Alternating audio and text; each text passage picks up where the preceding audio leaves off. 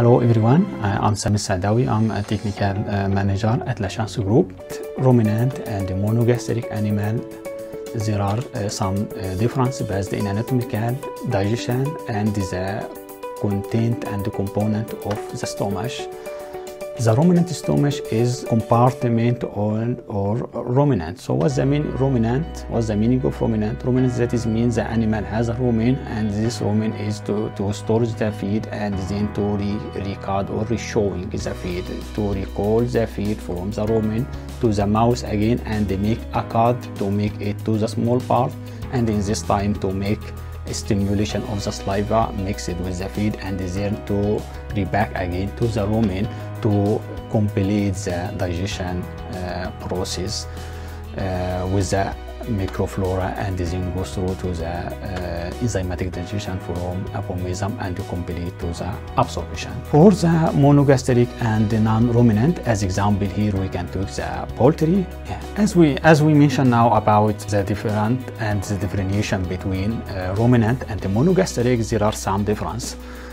Uh, for ruminant, it is uh, four compartment contain four uh, four room or four compartments. The first one it is the, ro the and this is the, the, the, the large part, the rumen, and the second part reticulum, and the third part uh, omasum, and the last one the last part abomasum.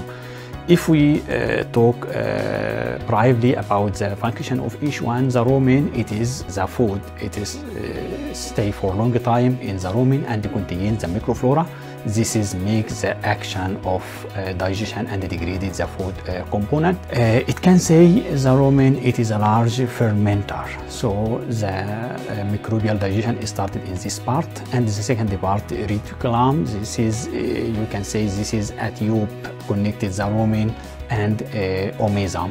The omasum, it is this part, it is uh, drying the food uh, or absorb it, the, the water from the digestion or from the, the feed.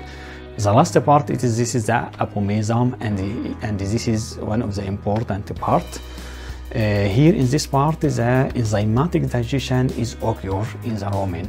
That is mean uh, secretion of some enzymatic is secreted here in this part as example pepsin to uh, assist in uh, digestion of uh, protein and also secreting some acid like hydrochloric acid and this is uh, assist in making the pH of uh, abomasum in acidic level about 3 up to 4 so this is a prime functionality of the rumen in other side, in uh, monogastric, as example of poultry, you don't have this four compartment and the stomach is just simple and contain the enzymatic, uh, the enzymatic part to digest and to take out uh, the feed.